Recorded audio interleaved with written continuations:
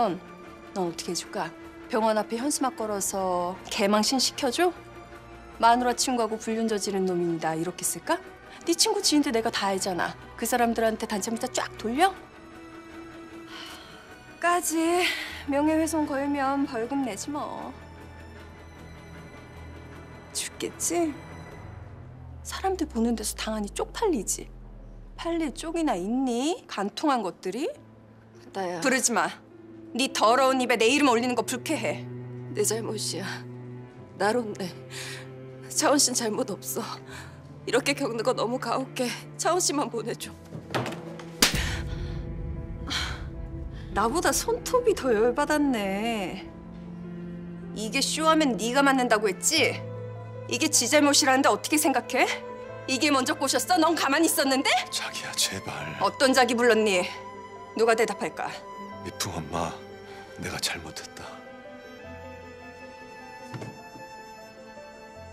일단 나가자 피 보고 싶지 않음.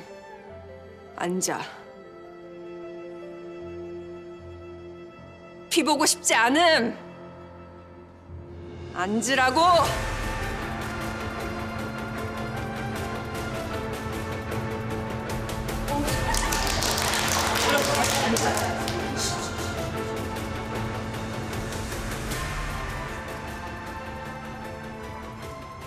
난 이 일을 아주 민주적이고 합리적으로 해결하려고 해.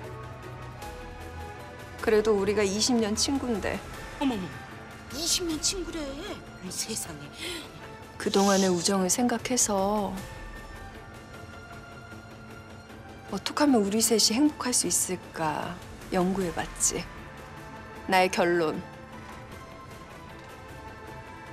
마침 시간 맞춰 등장해 주시네. 보너스야. 이 기막힌 공연을 우리끼리 할 순 없지.